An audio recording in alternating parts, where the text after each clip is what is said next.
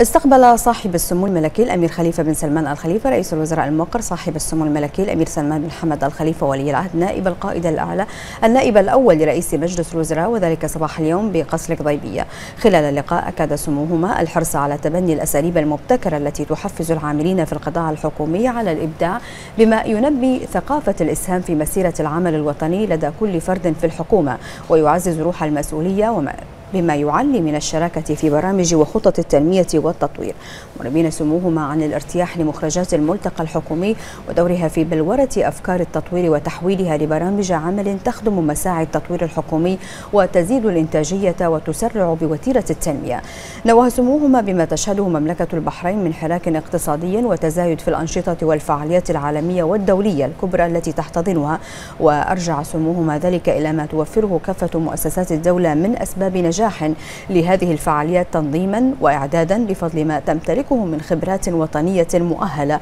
لذلك فضلا عن البيئة الامنه والمستقرة التي تتمتع بها مملكة البحرين. استعرض صاحب السمو الملكي رئيس الوزراء وصاحب السمو الملكي ولي العهد نائب القائد الأعلى النائب الأول لرئيس مجلس الوزراء التطورات والمستجدات الإقليمية والدولية حيث أكد سموهما على أهمية اللقاءات العربية ودورها في تعزيز